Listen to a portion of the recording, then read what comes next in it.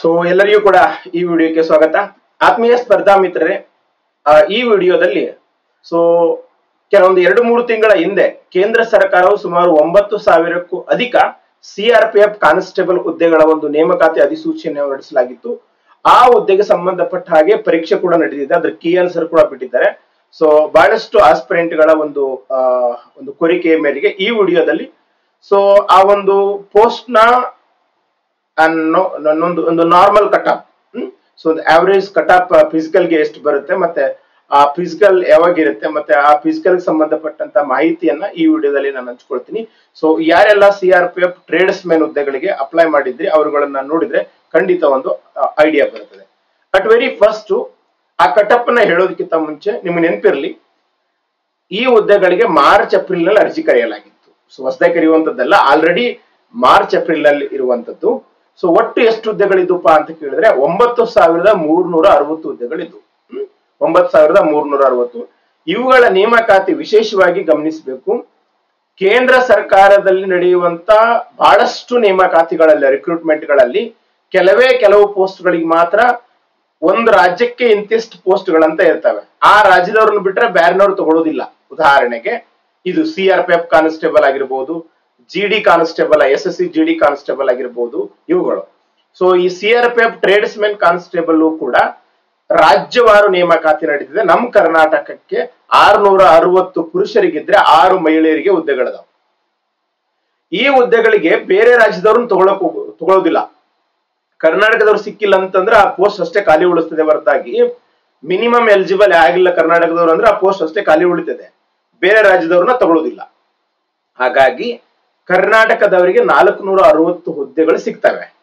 So ಈಗಾಗಲೇ ಈ ಒಂದು ಹುದ್ದೆಗೆ ಪರೀಕ್ಷೆ ನಡೆದದೆ. ಜುಲೈ ಒಂದರಿಂದ ಜುಲೈ ಹದಿಮೂರನೇ ತಾರೀಕು ತನಕ. ಸೊ ಸಿಫ್ಟ್ ವೈಸ್ ಎಕ್ಸಾಮ್ ನಡೆದದೆ? ಜುಲೈ ಹದಿನೆಂಟರಂದು ಕೀ ಆನ್ಸರ್ಗಳು ಕೂಡ ಬಿಟ್ಟಿದ್ದಾರೆ.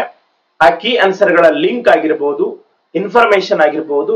ಸೊ ನಮ್ಮ V kingdom change your dreams ಅಂತ ಏನ್ ಟೆಲಿಗ್ರಾಮ್ ಗ್ರೂಪ್ ಇದೆ, ಸುಮಾರು ಒಂದು ಲಕ್ಷ ಐವತ್ತೆರಡು ಸಾವಿರ ಸ್ಪರ್ಧಾತ್ಮಕ ಆಕಾಂಕ್ಷಿಗಳು ಅದನ್ನ ಸದುಪಯೋಗ ಪಡಿಸ್ಕೊಳ್ತಾ ಇದ್ದಾರೆ. ಅದರದ ಲಿಂಕ್ ಅನ್ನ ಡಿಸ್ಕ್ರಿಪ್ಷನ್ ಅಲ್ಲಿ ಕೊಟ್ಟಿರ್ತೀನಿ ಸೊ ಅಲ್ಲಿ ಆಲ್ರೆಡಿ ಹಾಕಿದ್ದೆ ನಾನು. ಒಂದು ವೇಳೆ ಇನ್ನು ಯಾರಾದ್ರೂ ಕೀ ಆನ್ಸರ್ ನೋಡಿಲ್ಲ ಅಂದ್ರೆ ಇವಾಗ ನೋಡಕ್ ಬರೋದಿಲ್ಲ. ಜುಲೈ ಹದಿನೆಂಟರಿಂದ ಇಪ್ಪತ್ತೊಂದನೇ ತಾರೀಕು ಮಾತ್ರ ಕೀ ಆನ್ಸರ್ ನೋಡೋದಕ್ಕೆ ಅವಕಾಶ ಇತ್ತು. ಒಂದು ವೇಳೆ ಈಗ ನೋಡಕ್ ಬಂದಿಲ್ಲ ಅಂದ್ರೆ ಏನ್ ಮಾಡ್ಬೇಕು ಸರ್ ಅಂತ ಕೇಳಿದ್ರೆ ವೇಟ್ ಮಾಡಿ. ರಿವೈಸ್ಡ್ ಅಥವಾ ಫೈನಲ್ ಕಿ ಆನ್ಸರ್ ಅಂತ ಬಿಡ್ತಾರ? ಅಥವಾ ಈ ಒಂದು ಫಿಸಿಕಲ್ ಕಟ್ ಅಂತ ಬಿಡ್ತಾರ? ನಾರ್ಮಲೈಸ್ಡ್ ಸ್ಕೋರ್ ಅಂತ ಬಿಡ್ತಾರೆ. ನಾರ್ಮಲೈಸ್ಡ್ ಸ್ಕೋರ್ ಅಂತಂದ್ರೆ ಹೇಳ್ತೀನಿ ನಿಮ್ಗೆ. ಆವಾಗ ನಿಮ್ಗೆ ಗೊತ್ತಾಗತ್ತೆ. ಒಂದ್ ವೇಳೆ ಇವಾಗ ಆಗಿಲ್ಲ, ಇವಾಗ ಆಲ್ರೆಡಿ ಅದ್ರ ಡೇಟ್ ಮುಗಿದದೆ ಸೊ ಇಪ್ಪತ್ತೊಂದನೇ ತಾರೀಕು ಲಾಸ್ಟ್ ಡೇಟ್ ಇತ್ತು. ಕೀ ಆನ್ಸರ್ ಬಿಟ್ಟಿದ್ದಾರೆ. ಇದು ಆ ಒಂದು ಪೋಸ್ಟ್ಗಳ ಒಂದು ಸ್ಟೇಟಸ್ ಹ್ಮ್. ಆ, ಇನ್ನೊಂದು ಏನು ಅಂತ ಕೇಳಿದ್ರೆ, ಈ ಪೋಸ್ಟ್ ಗಳಿಗೆ ಏನೆಲ್ಲ ವಿಧಾನ ಇರ್ತದೆ? ಕೆಲವೊಬ್ರು ಕೇಳ್ತಾರೆ ಎಕ್ಸಾಮ್ ಆಯ್ತು ಸರ್ ಮುಂದೆ ಏನು ಅಂತ. ಒಂದು ಮೊದಲನೇದ್ದು ಸ್ಪರ್ಧಾತ್ಮಕ ಪರೀಕ್ಷೆ ಇರ್ತದೆ. ಆಲ್ರೆಡಿ ಆಗಿದೆ, ಅದು ಕಂಪ್ಯೂಟರ್ ಬೇಸ್ಡ್ ಎಕ್ಸಾಮ್ ಇತ್ತು. ಎಂ ಸಿ ಕ್ಯೂ ಆಧಾರಿತ ನೂರು ಅಂಕಗಳಿಗಿತ್ತು ಈ ನೂರು ಅಂಕಗಳಲ್ಲಿ ಉತ್ತಮ ಅಂಕ ಪಡೆದಂತವರು ಅಥವಾ ಕಟ್ ಆಫ್ ಅಂತ ಏನ್ ಕರಿತೀವಿ, ಅದರಲ್ಲಿ ಒಂದು ಹುದ್ದೆಗೆ ಎಂಟು ಜನರಂತೆ. ಒಂದು ಪೋಸ್ಟ್ಗೆ ಎಂಟು ಜನರಂತೆ. ಸೇ ಫಾರ್ ಎಕ್ಸಾಂಪಲ್ ಈಗ ನಮ್ಮ ಕರ್ನಾಟಕದಲ್ಲಿ ಒಂದು ನಾಲ್ಕನೂರ ಅರವತ್ತ ಐನೂರು ಅನ್ಕೊಳ್ಳೋಣ ನಾವು. ಎಂಟ್ಲೆ ನಲ್ವತ್ತು. ನಾಲ್ಕು ಸಾವಿರ ಜನನ ಫಿಸಿಕಲ್ಗೆ ಕರೀತಾರೆ. ನಾಲ್ಕು, ಮೂರುವರೆ ಸಾವಿರ ನಾಲ್ಕು ನಾಲ್ಕು ಸಾವಿರ ಜನನ ಫಿಸಿಕಲ್ ಕರೀತಾರೆ. ನೆಕ್ಸ್ಟ್ ಫಿಸಿಕಲ್ ಒನ್ ರೆಸ್ ಟು ಏಟ್ ಅದಾದ ಮೇಲೆ ಈ ಟ್ರೇಡ್ಸ್ ಮ್ಯಾನ್ ಅಂತ ಕೇಳಿದ್ರೆ, ಈಗ ಜಿ ಡಿ ಕಾನ್ಸ್ಟೇಬಲ್ ಅದನ್ನ ಜನರಲ್ ಡ್ಯೂಟಿ ಅಂತ. G D means general duty C R P F ಅಂತ ನಿಮ್ಮೆಲ್ಲರಿಗೂ ಗೊತ್ತಿದೆ. ಸಿ ಆರ್ ಪಿ ಎಫ್ ಅಲ್ಲಿ ನಾರ್ಮಲ್ ಡ್ಯೂಟಿ ಮಾಡುವಂತವನಿಗೆ ಜಿ ಡಿ ಕಾನ್ಸ್ಟೇಬಲ್ ಈಗ ನಾರ್ಮಲ್ ಡ್ಯೂಟಿ ಮಾಡೋನು ಒಂದು ಪ್ಲೇಸ್ನಿಂದ ಇನ್ನೊಂದು ಪ್ಲೇಸ್ಗೆ ಹೋಗ್ಬೇಕಾಗತ್ತೆ. ಆವಾಗ ವೆಹಿಕಲ್ ಬೇಕಾಗತ್ತೆ. ವೆಹಿಕಲ್ನ ಡ್ರೈವರ್ ಮಾಡೋನ್ ಬೇಕಾಗತ್ತೆ. ಆ ಡ್ರೈವರ್ಗೆ ಟ್ರೇಡ್ಸ್ ಮ್ಯಾನ್ ಅಂತ ಕರಿತೀವಿ. ಸೊ ಅಡಿಗೆ ಮಾಡೋರಾಗಿರ್ಬೋದು, ನೀರ್ ತರೋ ನೋಡ್ರಿ, ಯುದ್ಧದಲ್ಲಿ ಹೋರಾಡುವ ವೀರ ಏನಿರ್ತಾನೆ, ಸೈನಿಕ ಏನಿರ್ತಾನೆ ಅವನಿಗಿಂತ ಅವನಷ್ಟೇ ಇಂಪಾರ್ಟೆಂಟ್ ಅಂತ ಅವ್ನು ಹಿಂದಿರುವವರು ಇರ್ತಾರೆ. ಹ್ಮ್? ಅವ್ರ ಹಿಂದಿರುವವರೇ ಈ ಟ್ರೇಡ್ಸ್ ಮ್ಯಾನ್ಗಳು so C R P F constable ಮುಂದಿದ್ರೆ ಅವ್ರ ಬ್ಯಾಕಪ್ ಈ ಟ್ರೇಡ್ಸ್ ಮ್ಯಾನ್ಗಳು ಇರ್ತಾರೆ ಸೊ ಇಲ್ಲಿ ಟ್ರೇಡ್ ಅಂತ ಕೇಳಿದ್ರೆ ಪರ್ಟಿಕ್ಯುಲರ್ ಪೋಸ್ಟ್ ಅಪ್ಪ. ಡ್ರೈವರ್ ಸ್ವೀಪರ್ ಸೊ ವಾಟರ್ ನೀರ್ ತಗೊಂಡು ಹೋಗುವಂತವನು ಗಾರ್ಡನ್ ಮಾಡಿ ಕ್ಲೀನ್ ಗಾರ್ಡನ್ನ ಮೇಂಟೈನ್ ಮಾಡುವಂತವನು ಇವುಗಳಿಗೆಲ್ಲ ನಾವು ಟ್ರೇಡ್ ಟ್ರೇಡ್ ಮೀನ್ಸ್ ಕೆಲಸ ಅಂತ ಅರ್ಥ. ಸೊ ಆ ಟ್ರೇಡ್ಗೆ ಸಂಬಂಧಪಟ್ಟಂತ ಟೆಸ್ಟ್ ಇರ್ತದ. ಐವತ್ತು ಅಂಕಗಳಿರ್ತವ. ಸೊ ಮಿನಿಮಮ್ ಇಪ್ಪತ್ತು ಅಂಕಗಳು ತಗೊಳ್ಬೇಕು. ಮಿನಿಮಮ್ ನಾಲೆಜ್ ಇದ್ರು ಕೂಡ ಎಲಿಜಿಬಲ್ ಆಗ್ತಾರೆ. ಅದ್ರಾಗ ಮಾರ್ಕ್ಸ್ ಹಿಡಿಯೋದಿಲ್ಲ. One point one rest eight physical ಕರೆದಿದ್ರು. ಅಲ್ಲಿ ಕರೆದಂತ ಒಂದ್ ಮೂರು ಜನರನ್ನ, ಎಂಟರಲ್ಲಿ ಮೂರು ಜನರನ್ನ ಏನ್ ಮಾಡ್ತಾರೆ? ಒಂದು ಪೋಸ್ಟ್ಗೆ ಮೂರು ಜನರಂತೆ ಟ್ರೇಡ್ ಟೆಸ್ಟ್ ಕರೀತಾರೆ. ಸೊ ಅದಾದ ತಕ್ಷಣನೇ ಮೆಡಿಕಲ್ ಇರ್ತದೆ. ಅದಾದ ನಂತರ ಒಂದು ಡಾಕ್ಯುಮೆಂಟ್ ವೆರಿಫಿಕೇಶನ್ ಇರ್ತದೆ. ಇದು ಈ ಒಂದು ಪೋಸ್ಟ್ಗಳ ಡೀಟೇಲ್ಡ್ ಸರಿ ಸರ್ ಕಟ್ ಆಫ್ ಎಷ್ಟು ನಿಂದಿರ್ತದೆ. ಈಗ ಎಕ್ಸಾಮ್ ಬರ್ದಿವಿ, ಕೆಲವೊಬ್ರು ಹೇಳ್ತಾರೆ ನನಗೆ ಮೂವತ್ತೈದಾಯ್ತು ನಲವತ್ತಾಯ್ತು ಹಾಗೆ ಈಗಂತ ಸೊ ಒಂದು ನೆನ್ಪಿಟ್ಕೊಂಡಿದ್ದು ಎಲ್ಲಷ್ಟು ಮಂದಿ ಒಂದು ಮೆಸೇಜ್ಗೆ ರಿಪ್ಲೈ ಹಾಕದೇ ಇರಬಹುದು ಫಸ್ಟ್ ತಲೆಗಿಡ್ಕೊಂಡಿರಿ. ಮಿನಿಮಮ್ ಕಟ್ ಅಪ್ ಅಂತ ಇದೆ. ಮಿನಿಮಮ್ ಕಟ್ ಅಪ್ ಅಂತ ಕೇಳಿದ್ರೆ ಇಷ್ಟಗಿಂತ ಕಡಿಮೆ ಅಂಕಗಳು ತಗೊಂಡ್ರೆ ನೀವು ಸ್ಟೇಟ್ ಅವೇ ರಿಜೆಕ್ಟೆಡ್ ಹ್ಮ್. ನೀವು ಫಿಸಿಕಲ್ ಬರುವುದಿಲ್ಲ, ಉದಾಹರಣೆಗೆ. ನೂರು ಅಂಕಗಳಿಗೆ ಜಿ ನವರು ಮೂವತ್ತು ಅಂಕಗಳು ಪಡೆದಿರಬಹುದು ಮಿನಿಮಮ್ ಕೆಲವೊಂದು ಹುಡುಗರು ಇರ್ತಾರೆ. I think I very sorry to say this immature ಅಂತ ಕರಿತೇನೆ ಅದಕ್ಕೆ. ಈಗ ನಾನು ಹೇಳಿದ್ದು ಕನಿಷ್ಠ ಮೂವತ್ತು ಅಂಕಗಳಂತ. ಕಟ್ ಅಪ್ ಲಿಸ್ಟ್ ಬಿಡ್ತದೆ. ನೀವು ಮೂವತ್ತು ಅಂಕಗಳು ಹೇಳಿದ್ರಿ ನನ್ ನಲವತ್ ಮಾರ್ಕ್ಸ್ ಬಂದ್ರು ಬಂದಿಲ್ಲ. ರಾಜ್ಕುಮಾರ ನಲವತ್ ಮಾರ್ಕ್ಸ್ ಗಿಂತ ನಿನಗಿಂತ ಜಾಸ್ತಿ ತೆಗೆದವರು ಇರ್ತಾರೆ. ಮಿನಿಮಮ್ ಮೂವತ್ ಮಾರ್ಕ್ಸ್ ಅಂತ ಕೇಳಿದ್ರೆ you are eligible cutoff maybe ಮೂವತ್ತೈದು ನಿಂತಿತ್ತು ಅಂದ್ರೆ ಬರ್ಬೋದು ನಿಂದು. ಹ್ಮ್. ಸ್ಪರ್ಧೆ ಇದ್ದಾಗ ಅವರಿಗಿಂತ ಜಾಸ್ತಿ ಮಾರ್ಕ್ಸ್ ತಗೊಳಕ್ ಟ್ರೈ ಮಾಡಬೇಕು ಹೊರತಾಗಿ ಕಮ್ಮಿ ಮಾರ್ಕ್ಸ್ ಅಲ್ಲ. ಇಲ್ಲಿ ಮೂವತ್ತು ಮಾರ್ಕ್ಸ್ ಜಿ ಎಂ ಅಂತ ಕೇಳಿದ್ರೆ ಮಿನಿಮಮ್ ಒಂದ್ ವೇಳೆ ಜಿ ಎಂ ಅಲ್ಲಿ ಯಾರು ಕ್ಯಾಂಡಿಡೇಟ್ ಮೂವತ್ ಮಾರ್ಕ್ಸ್ ತಗೊಂಡಿಲ್ಲ ಅಂದ್ರೆ ಪೋಸ್ಟ್ಗಳು ಅಷ್ಟೇ ಖಾಲಿ ಇರ್ತವೆ. ಹ್ಮ್? ಮೂವತ್ತು ಮೂವತ್ತಿಗಿಂತ ನಲವತ್ತು ಇರ್ಬೋದು ಐವತ್ ಇರ್ಬೋದು ಅರವತ್ ಇರ್ಬೋದು ಎಷ್ಟೇ ಇರ್ಬೋದು. ಕಟ್ ಆಫ್ ಬಟ್ ಮಿನಿಮಮ್ ಮೂವತ್ತು ಜಿ ಎಂ ತಗೊಳ್ಳೇಬೇಕು. ನೀವು ಮಿನಿಮಮ್ ಮೂವತ್ತು ತಗೊಂಡಿದ್ರೆ ಓಕೆ ನೆಕ್ಸ್ಟ್ ಹೇಳ್ತೀನಿ ನಾನು ಎಷ್ಟು ಕಟ್ ಆಫ್ ಅಂತ. ಮಿನಿಮಮ್ ಕಟ್ ಬೇರೆ ಫಿಸಿಕಲ್ ಕ್ವಾಲಿಫೈ ಆಗುವಂತ ಒಂದು ಅಪ್ರಾಕ್ಸಿಮೇಟ್ ಕಟ್ ಬೇರೆ. ಸೊ ಈಗ E W S economic vehicle section ಅಂತ ಬರ್ತೀರಿ. O B C O B C ಅಂತ ಬರ್ತೀರಿ. ಹ್ಮ್? S C S T OBC ಮತ್ತು ಇ ಡಬ್ಲ್ಯೂ ಎಸ್ ಇದ್ರಿ ಅಂದ್ರೆ ನೂರಕ್ಕ ನೆಗೆಟಿವ್ ಹೋಗಿ. ನೆಗೆಟಿವ್ ಹೋಗಿ ಇಪ್ಪತ್ತೈದು ಅಂಕಗಳಿರ್ಬೇಕು. ಎಸ್ ಸಿ ಎಸ್ ಟಿದವ್ರಿಗೆ ಇಪ್ಪತ್ತು ಅಂಕಗಳು ನೆನ್ಪಿಟ್ಕೊಂಡಿರಿ. ಇದು ಆಫ್ಟರ್ ನೆಗೆಟಿವ್ ಮತ್ತು ನಾರ್ಮಲೈಸೇಷನ್ ಮಿನಿಮಮ್ ಮಾರ್ಕ್ಸ್ ಇದು. ಸರ್ ನಾರ್ಮಲೈಸೇಷನ್ ಅಂದ್ರೆ ಏನು? ಏನಾಗುತ್ತೆ ಸ್ನೇಹಿತರೆ ಸೆಂಟ್ರಲ್ ಗೌರ್ಮೆಂಟ್ ಜಾಬ್ಗಳಿಗೆ ಬಹಳಷ್ಟು ಮಂದಿ ಅಪ್ಲಿಕೇಶನ್ ಹಾಕಿರ್ತಾರೆ. ಮತ್ತೆ ಕಂಪ್ಯೂಟರ್ ಬೇಸ್ಡ್ ಎಕ್ಸಾಮ್ ಇರುತ್ತದೆ. ಸೊ ಕಂಪ್ಯೂಟರ್ ಬೇಸ್ಡ್ ಎಕ್ಸಾಮ್ ಇದ್ದಾಗ ಈ ಬಹಳಷ್ಟು ಎಕ್ಸಾಮ್ ಸೆಂಟರ್ಗಳು ಸಿಗೋದಿಲ್ಲ, ಕಡಿಮೆ ಇರ್ತವೆ ಅವಾಗ ಎಲ್ಲರಿಗೂ ಒಂದೇ ದಿನ ಎಕ್ಸಾಮ್ ನಡ್ಸಕ್ ಆಗೋದಿಲ್ಲ. ಸೊ ಒಂದು, ಒಂದ್ ಸಾವಿರ ಜನಕ್ಕೆ ಇವತ್ತು ಇನ್ನೊಂದ್ ಒಂದ್ ಸಾವಿರ ಜನಕ್ಕೆ ಇನ್ನೊಂದ್ ದಿವಸ, ಹೀಗೆ ಒಂದು ಒಂದು ವಾರ, ಒಂದ್ ತಿಂಗಳ ತನಕನೂ ಮಾಡ್ತಾರೆ. ಆವಾಗ ಬೇರೆ ಬೇರೆನವ್ರಿಗೆ ಬೇರೆ ಬೇರೆ ಕ್ವಶನ್ ಪೇಪರ್ ಬರ್ತದೆ. ಬೇರೆ ಬೇರೆನವರಿಗೆ ಬೇರೆ ಬೇರೆ ಕ್ವಶನ್ ಪೇಪರ್ ಬರ್ತದೆ. ಕೆಲವೊಬ್ಬರಿಗೆ ಟಫ್ ಇದ್ದದ್ದು ಬರ್ಬೋದು, ಕೆಲವೊಬ್ರಿಗೆ ಈಜಿ ಇದ್ದದ್ದು ಬರ್ಬೋದು. ಅದಕ್ಕೊಂದು ಮೆಥಡ್ ಮಾಡ್ಕೊಂಡಿದ್ದಾರೆ ಅವರು. ನಾರ್ಮಲೈಸೇಷನ್ ಅಂತ. ಈ ನಾರ್ಮಲೈಸೇಷನ್ ಅನ್ನೋದು ಏನ್ ಮಾಡ್ತದೆ? ಈಸಿ ಇದು ಕ್ವಶನ್ ಪೇಪರ್ ಇತ್ತಂದ್ರೆ ನೀವು ಎಪ್ಪತ್ ಮಾರ್ಕ್ಸ್ ತಗೊಂಡ್ರು ಕಮ್ಮಿ ಮಾಡ್ತದೆ. ತಪ್ಪಿತ್ತು ಅಂತ ಕೇಳಿದ್ರೆ ನೀವು ಐವತ್ ತಗೊಂಡ್ರು ಕೂಡ ಎಪ್ಪತ್ತಾಗುವ ಸಾಧ್ಯತೆ ಇರ್ತದೆ. It means tough question paper ಇದ್ದವರಿಗೆ ಮತ್ತೆ ಈಸಿ ಕ್ವಶನ್ ಪೇಪರ್ ಇದ್ದವರಿಗೆ ನಾರ್ಮಲ್ ಮಾಡ್ತಾರೆ. ಸೊ ಇದಕ್ಕೆ ನಾರ್ಮಲೈಸೇಷನ್ ಈಗೇನ್ ಕೀ ಆನ್ಸರ್ ಬಿಟ್ಟರಲ್ಲ ಇದಾದ ಮೇಲೆ ನಾರ್ಮಲೈಸ್ಡ್ ಸ್ಕೋರ್ ಅಂತ ಬಿಡ್ತಾರೆ. ಅವಾಗ ನೆಗೆಟಿವ್ ತೆಗೆದು ಆ normalised score thirty twenty five twenty ಬಂದ್ರೆ ಮಿನಿಮಮ್ ಎಲಿಜಿಬಲ್ ಇಷ್ಟಾದ ತಕ್ಷಣ ಫಿಸಿಕಲ್ ಬರುತ್ತೆ ಸರ್ ಅಲ್ಲ. ಈಗ ಸೇ ಫಾರ್ ಎಕ್ಸಾಂಪಲ್ ಯಾರೋ ಒಬ್ರು ಹೆಣ್ಮಕ್ಳು ಇರ್ತಾರೆ ಒ ಬಿ ಸಿ ಅಲ್ಲಿ ಬರ್ತಿರ್ತಾರೆ, ಅಥವಾ ಜಿ ಎಂ ಅಲ್ಲಿ ಬರ್ತಿರ್ತಾರೆ. ಮೂವತ್ ಮಾರ್ಕ್ಸ್ ಆಗಿರ್ತದೆ ಅವ್ರು ಮೂವತ್ತೊಂದು ಆಗಿರ್ತದೆ ಅನ್ಕೋಣ ಬಾಯ್ಸ್ ಬೇಡ. ಈಗ ಹೆಣ್ಮಕ್ಳು ಯಾರು ಕಾಂಪಿಟೇಷನ್ ಇಲ್ಲಪ್ಪ. ಅವ್ರ ಕ್ಯಾಶ್ ಅಲ್ಲಿ ಒಂದು ಪೋಸ್ಟ್ ಅದ ಎರಡು ಪೋಸ್ಟ್ ಅದ ಅನ್ಕೋಣ ಆವಾಗ ಅವ್ರದ್ದು ಮೂವತ್ತು ತಗೊಂಡ್ರು ಬರ್ತದೆ. ಆದ್ರೆ ಕಾಂಪಿಟೇಷನ್ ಇದ್ದಾಗ ಮೂವತ್ತಕ್ಕಿಂತ ಜಾಸ್ತಿ ಹೋಗುತ್ತೆ. ಇದು ಮಿನಿಮಮ್ ಕಟ್ ಇದು ಆದ ನಂತರ, ಹ್ಮ್ ಸರ್ ಫಿಸಿಕಲ್ ಎಷ್ಟು ಬರ್ತದೆ? ಸೊ ಸಾಮಾನ್ಯವಾಗಿ ನಮ್ಮ ಕರ್ನಾಟಕದಲ್ಲಿ ಬೇರೆ ರಾಜ್ಯಗಳಿಗೆ ಕಂಪ್ಯಾರಿಸನ್ ಮಾಡಿದ್ರೆ ಬಿಹಾರ, ಉತ್ತರ ಪ್ರದೇಶ ಸೊ ಇವ್ರುಗಳಿಗೆ ಮಹಾರಾಷ್ಟ್ರ, ಇವುಗಳಿಗೆಲ್ಲ ಕಂಪ್ಯಾರಿಸನ್ ಮಾಡಿದ್ರೆ ನಮ್ಮ ಸದರ್ನ್ ಸ್ಟೇಟ್ಗಳಲ್ಲಿ ನಾವೇನು ದಕ್ಷಿಣದಲ್ಲಿರುವಂತಹ ರಾಜ್ಯಗಳಿಗೆ ಕೇಂದ್ರ ಸರ್ಕಾರದ ಉದ್ಯೋಗ ಬಹಳಷ್ಟು ಕಡಿಮೆ ಕಂಪ್ಯಾರಿಸನ್ ಮಾಡಿದ್ರೆ. ಸೊ ಕಟ್ ಆಫ್ ಜಿ ನವರಿಗೆ ಮೂವತ್ತು ಮಿನಿಮಮ್ ತಗೋಬೇಕಂತ ಹೇಳಿದೆ. ಫಿಸಿಕಲ್ ಬರಬೇಕು ಅಂತ ಕೇಳಿದ್ರೆ ಮೂವತ್ತೈದರಿಂದ ನಲವತ್ತೈದು ಕನಿಷ್ಠ ಅಂಕಗಳು ಇರಬೇಕು ನೀವು ಮೂವತ್ತೈದರಿಂದ ನಲವತ್ತೈದು ಅಂಕಗಳು ಬಂದವ ಜಿ ಎಂ ಅಲ್ಲಿ ಇದೀನಿ ಅಂತ ಕೇಳಿದ್ರೆ ಫಿಸಿಕಲ್ ಪ್ರಾಕ್ಟೀಸ್ ಮಾಡಿ. ಎಷ್ಟು ಪ್ರಾಕ್ಟೀಸ್ ಮಾಡ್ಬೇಕಂತ ಹೇಳ್ತೀನಿ ನಾನು. ಫಿಸಿಕಲ್ ಪ್ರಾಕ್ಟೀಸ್ ಮಾಡೋದ್ರಿಂದ ಏನೂ ಹಾಳಾಗುವುದಿಲ್ಲ ಹಾ ಎಲ್ತ್ ಇರ್ತದೆ. ಸೊ ವೇಸ್ಟ್ ಅಂತೂ ಆಗೋದಿಲ್ಲ. ವೇಸ್ಟ್ ಅಂತ ಯಾವಾಗ ಆಗುತ್ತೆ ಅಂತ ಕೇಳಿದ್ರೆ ಸೊ ಅದು ಯಾವುದಕ್ಕೂ ಯೂಸ್ ಆಗಿಲ್ಲ ಅಂದ್ರೆ ವೇಸ್ಟ್ ಆಗುತ್ತೆ. ನಿಮ್ ಹೆಲ್ತ್ ಯೂಸ್ ಆಗುತ್ತೆ. ಯಾರು ಜಿ ಎಂ ಅಲ್ಲಿ ಇದ್ರಿ, ಮೂವತ್ತೈದರಿಂದ ನಲವತ್ತು, ಹೀಗೆ ಅದು ನಾರ್ಮಲೈಸೇಷನ್ ಹೇಗಾದ್ರೂ ಆಗ್ಲಿ. ಮುಂದೆ ಆಮೇಲೆ ನೋಡೋಣಂತೆ. ಯಾರು ಮೂವತ್ತು ಮಿನಿಮಮ್ ಮೂವತ್ತೈದರಿಂದ ನಲವತ್ತೈದು ಯಾರದ ಬಂದಿದೆ ಫಿಸಿಕಲ್ ಬರುವ ಸಾಧ್ಯತೆ ಇರ್ತದೆ. ಯಾಕಂತ ಕೇಳಿದ್ರೆ ಕನಿಷ್ಠ ಮೂರರಿಂದ ಐದರ ತನಕ ನಾರ್ಮಲೈಸೇಷನ್ ಅಲ್ಲಿ ಹೆಚ್ಚಾಗುವ ಸಾಧ್ಯತೆ ಇರ್ತದೆ.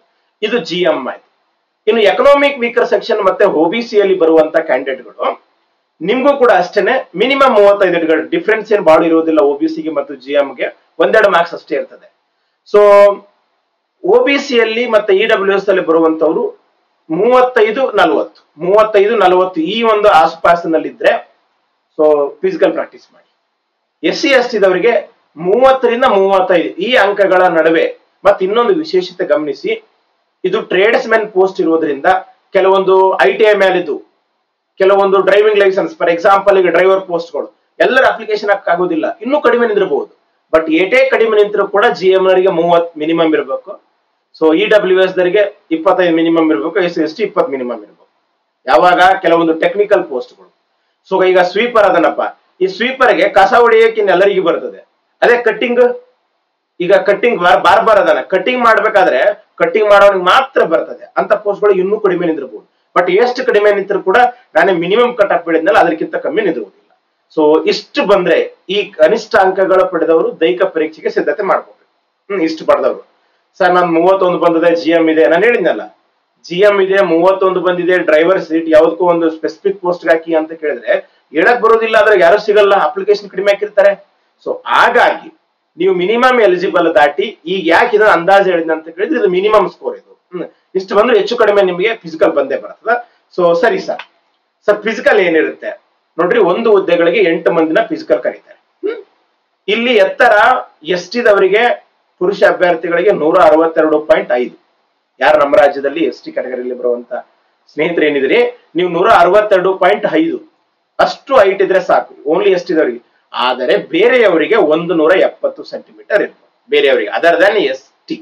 S C ಆಗಿರ್ಬೋದು ಒ ಬಿ ಸಿ ಜಿ ನವರಿಗೆ, ಪುರುಷರಿಗೆ. ಇನ್ನು ಮಹಿಳೆಯರಿಗೆ ಎಸ್ ಟಿ ಅವರಾಗಿದ್ರೆ ನೂರ ಐವತ್ತು ಸೆಂಟಿಮೀಟರ್ ಸೊ ಬೇರೆಯವರಾಗಿದ್ರೆ ನೂರ ಐವತ್ತೇಳು. ಸೇಮ್ ನಮ್ಮ ಕರ್ನಾಟಕದಲ್ಲಿ ಪಿ ಸಿ ಎಕ್ಸಾಮ್ ಎಷ್ಟಿದೆ? ಅಷ್ಟು. ಇದು ಎತ್ತರ. ಇನ್ನು ಚೆಸ್ಟ್ ಸೊ ಎಷ್ಟೇ ಆಸ್ಪಿರೆಂಟ್ ಆಸ್ಪಿರೆಂಟ್ಗಳಾಗಿದ್ರಪ್ಪ ಅಂತ ಕೇಳಿದ್ರೆ ಎಪ್ಪತ್ತಾರು ನಾರ್ಮಲ್ ಇರಬೇಕು, ಐದು ಸೆಂಟಿಮೀಟರ್ ಸ್ಟ್ರೆಚ್ ಆಗ್ಬೇಕು ಟೋಟಲ್ ಎಂಬತ್ತೊಂದು. ಸೊ ಇನ್ನು ಅದರದೇನ್ ಎಷ್ಟು ಇದ್ರೆ ಸೊ ಎಂಬತ್ತು ಪ್ಲಸ್ ಐದು ನಾರ್ಮಲ್ ಎಂಬತ್ತಿರಬೇಕು ಐದು ಸ್ಟ್ರೆಚ್ ಮಾಡಿದ್ರೆ ಇರಬೇಕು. ಇದು ಮಿನಿಮಮ್ ಸ್ಟ್ಯಾಂಡರ್ಡ್ಸ್ ಸರಿ ಸರ್ ರನ್ನಿಂಗು ರನ್ನಿಂಗ್ ಎಷ್ಟದ? ನೋಡ್ರಿ, ಇಲ್ಲಿ ಪೋಸ್ಟ್ ಗಳದಾವ ಫಾರ್ ಎಕ್ಸಾಂಪಲ್ ನಿಮ್ಮ ಪೋಸ್ಟ್ ಏನಾದರೂ ಡ್ರೈವರ್ ಆಗಿದ್ರೆ, ಐದು ಕಿಲೋಮೀಟರ್ನ ಇಪ್ಪತ್ನಾಲ್ಕು ನಿಮಿಷದಲ್ಲಿ ಪುರುಷರು ಓಡ್ಬೇಕು. ಏನ್ ಜಿ ಡಿ ಕಾನ್ಸ್ಟೇಬಲ್ ನೋಡಿದ್ರಲ್ಲ ಅದು, ನೆನ್ಪಿಟ್ಕೊಂಡಿದ್ರ? ಮುನ್ನೂರು ಎರಡ್ ನೂರು ಮುನ್ನೂರು ಜನನಿಗಿನ ಬಿಟ್ರೆ ಇಪ್ಪತ್ತು, ಮೂವತ್ತು ಜನ ಪಾಸ್ ಆಗ್ತಾರೆ. ಈ ಐದು ಐದು ಕಿಲೋಮೀಟರ್ ಎಲ್ಲರಿಗೂ ಆಗೋದಿಲ್ಲ, ಅಷ್ಟು ಸರಳ ಅಲ್ಲ ಬಹಳ ಎಂಡರೆನ್ಸ್ ಬೇಕು. ಬ ನ್ಯಾಚುರಲ್ ಕೆಪಾಸಿಟಿ ಇರುವಂತ ಹುಡುಗ ಮಾತ್ರ ಓಡ್ತಾನೆ. ಎಲ್ಲರೂ ಓಡಕ್ ಆಗೋದಿಲ್ಲ. ಅವ್ ಎಷ್ಟೇ ಉದ್ದಿರ್ಲಿ, ಎಷ್ಟೇ ತಪ್ಪಿರ್ಲಿ, ಎಷ್ಟೇ ಸಿಕ್ಸ್ ಪ್ಯಾಕ್ ಎಂಟು ಪ್ಯಾಕ್ ಹತ್ತು ಪ್ಯಾಕ್ ಇದಕ್ಕೆ ಸೊ ಹಾಗಾಗಿ driver motor mechanic gardener painter carpenter brass band pipe band, cobbler, tailor. ಇಷ್ಟು ಪೋಸ್ಟ್ ಪೋಸ್ಟ್ಗಳಿಗೆ ಎಷ್ಟದಪ್ಪ ರನ್ನಿಂಗ್ ಅಂತ ಕೇಳಿದ್ರೆ ಐದು ಕಿಲೋಮೀಟರ್ ಅದ. ಹೆಣ್ಮಕ್ಳಿಗೆ ಸೊ ಹದಿನಾರು ನೂರು ಮೀಟರ್ ಅದ, ಎಂಟೂವರೆ ನಿಮಿಷದಲ್ಲಿ. ಇನ್ನ cook, water carrier, barber, hair dresser washerman washer women safari ಕರ್ಮಚಾರಿ ಇವುಗಳಿಗೆ ಹದಿನಾರು ನೂರು ಮೀಟರ್ ಅದ. ಸೊ ಅದು ಹತ್ತು ಮಿನಿಟ್, ಹತ್ತು ನಿಮಿಷದಲ್ಲಿ ಆರಾಮ್ ಓಡ್ತಾರೆ. ಹದಿನಾರು ಹದಿನಾರು ಮೀಟರ್ ಹತ್ತು ನಿಮಿಷದಲ್ಲಿ ಎಲ್ಲರೂ ಓಡ್ತಾರೆ. ಸೊ ಮಹಿಳೆಯರಿಗೆ ಸೇಮ್ ಹದಿನಾರು ನೂರು ಮೀಟರ್ ಬಟ್ ಹನ್ನೆರಡು ನಿಮಿಷ ಅಂತ ಇದೆ. ಸೊ ಪುರುಷರಿಗೆ ಈ ಕುಕ್ಕು ವಾಟರ್ ಮ್ಯಾನ್ ಇವ್ರು ಆ ಆ ಪೋಸ್ಟ್ಗಳಿಗೆ ಕಡಿಮೆ ಇದೆ ರನ್ನಿಂಗ್ ರನ್ನಿಂಗ್ ಕಟ್ಟದ ಟೈಮಿಂಗ್ ಜಾಸ್ತಿ ಇದೆ. ಹಾಗಾಗಿ, ಯಾರು ಐದು ಕಿಲೋಮೀಟರ್ ವ್ಯಾಪ್ತಿಯಲ್ಲಿ ಬರ್ತಾರೆ ನಿಮ್ಗೆ ಕಾಂಪಿಟೇಷನ್ ತುಂಬಾ ಕಡಿಮೆ ಇರ್ತದೆ ಪ್ರಾಕ್ಟೀಸ್ ಮಾಡಿ. ಸೊ ನೀವು ಕೂಡ ಹದಿನಾರು ನೂರು ಮೀಟರ್ ಇದ್ದಲ್ಲಿ ಕೂಡ ಇದು ಮಾಡಿ. ಈಗ ಸೇ ಫಾರ್ ಎಕ್ಸಾಂಪಲ್ ಟೆಸ್ಟ್ ಅಂತ ಟೆಸ್ಟ್ ಎಕ್ಸಾಮ್ ಅಂತ ಹೇಳಿದೆ ನಾನು. ಟ್ರೇಡ್ ಟೆಸ್ಟ್ ಅಂತ ಹೇಳಿದೆ. ಟ್ರೇಡ್ ಮೀನ್ಸ್ ಕೆಲಸ. ಈಗ ಸೇ ಫಾರ್ ಎಕ್ಸಾಂಪಲ್ ಡ್ರೈವರ್ ಅದನ್ನ ಡ್ರೈವರ್ ಅಂತ ಕೇಳಿದ್ರೆ, ನೀವು ಒಂದು ವೆಹಿಕಲ್ ಅನ್ನ ಫೋರ್ ವೀಲರ್ನ ಲೈಸೆನ್ಸ್ ಇರಬೇಕು ಸ್ಟಾರ್ಟ್ ಮಾಡಕ್ ಬರಬೇಕು. ಅವನಿಗೆ ಮತ್ತೆ ಹೋಗಿ ಸ್ಟಾಪ್ ಮಾಡ ರಿವರ್ಸ್ ಗೇರ್ ತಗೊಳಕ್ ಬರಬೇಕು. ಅವೆಲ್ಲ ಬೇಸಿಕ್ಸ್ ಇರ್ತವೆ. ಅವು ತಗೋಬೇಕು. ಈಗ ಗಾರ್ಡನರ್ ಅದನ್ನಪ್ಪ. ಗಾರ್ಡನ್ ಅಲ್ಲಿ ಹುಲ್ ಕಟ್ ಮಾಡಕ್ ಬರಬೇಕು ಅಂತವೆಲ್ಲ ಬರಬೇಕು. ಅವುಗಳಿಗೆಲ್ಲ ಟ್ರೇಡ್ ಟೆಸ್ಟ್ ಅಂತ ಕರೀತಾರೆ. ಸೊ ಈಗ ಕುಕ್ ಆರ್ ವಾಟರ್ ಕ್ಯಾರಿಯರ್ ಅಂತದ್ದು. ಒಬ್ಬ ನೀರ್ ತರವನಿಗೆ ನೀರ್ ತರೋದು ಗೊತ್ತಿರ್ಬೇಕು. ಒಬ್ಬ ಜಾಬ್ ಬೇಕಾದವನಿಗೆ ಇವೆಲ್ಲ ಕಾಮನ್ ಸೆನ್ಸ್ ಇರ್ತವೆ. ಸೊ ಅದ್ರ ಬಗ್ಗೆ ವರಿ ಮಾಡ್ಕೊಳಕ್ ಹೋಗ್ಬೇಡ ಸೊ ಇದು ರನ್ನಿಂಗ್ ಆಯ್ತು. ಇನ್ನ ಪೋಸ್ಟ್ಗಳು ಯಾವೊಬ್ಬ ನಮ್ಮ ಕರ್ನಾಟಕಕ್ಕೆ ಅಂತ ಕೇಳಿದ್ರೆ, ಸ್ನೇಹಿತರೆ ಹೈಯೆಸ್ಟ್ ಕುಕ್ ಮತ್ತು ವಾಟರ್ ಕ್ಯಾರಿಯರ್ ಅದಾವ. ಕುಕ್ ಮತ್ತು ವಾಟರ್ ಕ್ಯಾರಿಯರ್ ಹದಿನಾರು ನೂರು ಮೀಟರ್ ರನ್ನಿಂಗ್ ಅದ. ಪೋಸ್ಟ್ಗಳು ಜಾಸ್ತಿ ಅದಾವ. ಡ್ರೈವರ್ ನೂರ ಎಪ್ಪತ್ತೇಳು, ಅತಿ ಕಡಿಮೆ ಕಟ್ ಆಫ್ ನಿಂದಿರ್ತದೆ ಹಂಡ್ರೆಡ್ ಪರ್ಸೆಂಟ್ ಇರುತ್ತೆ ನಮ್ಮ ಕರ್ನಾಟಕದವರಿಗೆ. ಯಾರು ಡ್ರೈವರ್ಗೆ ಅಪ್ಲೈ ಮಾಡಿದ್ರಿ? ಮೂವತ್ತು ಜಿ ಎಂ ಇಪ್ಪತ್ತೈದು ಒ ಬಿ ಸಿ ಇಪ್ಪತ್ತು ಎಸ್ ಸಿ ಎಸ್ ಟಿ ಇವ್ರುಗಳಿಗಿದ್ರೆ ನೀವು ಪ್ರಾಕ್ಟೀಸ್ ಮಾಡಿ, ಆರಾಮ್ ಪ್ರಾಕ್ಟೀಸ್ ಮಾಡಿ ನೀವು. ಎಷ್ಟು ಪೋಸ್ಟ್ಗಳು ಸೊ ನಮ್ಮ ಕರ್ನಾಟಕಕ್ಕೆ ಲಭ್ಯ ಅದ ಸೊ ಆ ಪೋಸ್ಟ್ಗಳಿಗೆ ತಕ್ಕ ಹಾಗೆ ನೋಡ್ಕೊಂಬಿಡಿ. ನಾನು ಹೇಳಿದ್ನೆಲ್ಲ, ಸೆಂಟ್ರಲ್ ಗೌರ್ಮೆಂಟ್ ಜಾಬ್ ಇದೆ. ಗೌರ್ಮೆಂಟ್ ಜಾಬ್ ಯಾರು ಬೇಕು ನೋಡ್ರಿ, ಈಗ ಹಸಿದವ್ರಿಗೆ ಗೊತ್ತದೆ ಊಟದ ಒಂದು ಒಂದು ಹಸುವಿನ ಮಹತ್ವ ಮತ್ತೆ ಊಟದ ಬೆಲೆ ಏನಂತ. ಜಾಬ್ ಇಲ್ಲದೆ ಇರುವಂತ, ಮತ್ತೆ ಆ ಜಾಬಿಗಾಗಿ ಬಡದಾಡುವಂತ, ಪಡೆದಾಡು, ಪರದಾಡುವಂತ ಊರುಗಳಿಗೆ ಮಾತ್ರ ಗೊತ್ತಿದೆ ಜಾಬಿನ ವ್ಯಾಲ್ಯೂ ಏನು ಅಂತ. ಸೊ ನಾನು ಹೇಳಿದ್ನೆಲ್ಲ technical traders man C R P post ಅಂತ ಕೇಳಿದ್ರೆ ಸೊ ಇವರಿಗೂ ಯೂನಿಫಾರ್ಮ್ ಇರ್ತವೆ. ಸೇಮ್ ಟು ಸೇಮ್ ಅಲ್ಲಿ ಏನು ಡಿಫ್ರೆನ್ಸ್ ಕಾಣೋದಿಲ್ಲ. ಅವರು ಮುಂದಿರ್ತಾರೆ ಒಂದು ಒಂದು ಫೀಲ್ಡ್ ಅಲ್ಲಿ ಇರ್ತಾರೆ, ಇವರು ಅವ್ರ ಹಿಂದಿರ್ತಾರೆ. ಸೊ ಈಗ ಏನ ಸೇ ಫಾರ್ ಎಕ್ಸಾಂಪಲ್ ಅವರಿಗೆ ಒಂದು ಹೆಡ್ ಆಫೀಸ್ ಇರ್ತದೆ. C R P head office ಇರ್ತದೆ. ಅಲ್ಲಿ ಗಾರ್ಡನ್ ಇರ್ತದೆ ಗಾರ್ಡನ್ ಮೇಂಟೈನ್ ಮಾಡೋದಕ್ಕೆ. ಸೊ ಈ ಕಾನ್ಸ್ಟೇಬಲ್ ಗಳಿಗೆ ಕಟಿಂಗ್ ಮಾಡಬೇಕಲ್ಲ. ಕಟಿಂಗ್ ಮಾಡೋದಕ್ಕೆ ಸಮಥಿಂಗ್ ಏರ್ ಡ್ರೆಸ್ಸರು ಸೊ ಇವುಗಳೆಲ್ಲ ಪೋಸ್ಟ್ಗಳಿದಾವೆ ನಾನು ಹೇಳಿದ್ನೆಲ್ಲ, ಇದಕ್ಕೂ ಕೇಂದ್ರ ಸರ್ಕಾರದ ಸಂಬಳ ಇರ್ತದೆ. ಈಗ ನಮ್ಮ ಸ್ಟೇಟ್ ಅಲ್ಲಿ ಕಾನ್ಸ್ಟೇಬಲ್ ನೀವೇನ್ ಜಿ ಡಿ ಕಾನ್ಸ್ಟೇಬಲ್ ನೋಡ್ತೀರಲ್ಲ ಜಿ ಡಿ ಕಾನ್ಸ್ಟೇಬಲ್ ಇದ್ದಷ್ಟೇ ಸಂಬಳ ಇವ್ರಿಗೆ ಇರ್ತದೆ. ಅವ್ರಿಗೆ ಎಷ್ಟಿರ್ತದೋ ಅಷ್ಟೇ ಸಂಬಳ ಇರ್ತದೆ. ಸೊ ಯಾರ್ಯಾರು ಎಕ್ಸಾಮ್ ಪಾಸ್ ಆಗಿದ್ರಿ ಕ್ವಾಲಿಫೈ ಆಗಿದ್ರಿ ಸೊ ಗೋ ಹೈಯರ್ಡ್ ಟ್ರೈ ಮಾಡಿ ಸೆಲೆಕ್ಷನ್ ಆಯ್ತಪ್ಪ ಅಂತ ಕೇಳಿದ್ರೆ ಖಂಡಿತ ನಿಮ್ಮ ಕುಟುಂಬ, ನಿಮ್ಮ ಆರ್ಥಿಕ ಪರಿಸ್ಥಿತಿ ಮತ್ತು ನಿಮ್ಮ ಕುಟುಂಬ, ಅಪ್ಪ, ಅಮ್ಮ ತುಂಬಾ ಖುಷಿ ಪಡ್ತಾರೆ. So all the best